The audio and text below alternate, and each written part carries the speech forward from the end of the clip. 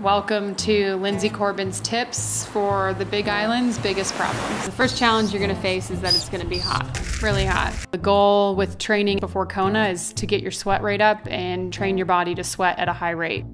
The second problem you'll face is that it's humid. Just as you're training your body, you want to train your gut to be prepared for the nutrition that you're going to be throwing at it on race day.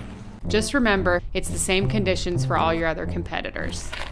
Embrace the challenge. Fourth challenge you're going to face is pacing. It's a long day out there, so trust your pace and trust your plan.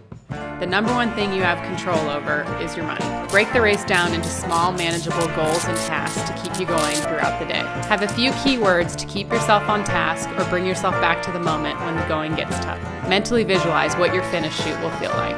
It's a long day out there. You just don't know what will happen around the next bend, up the road, or in a mile or two. Never give up.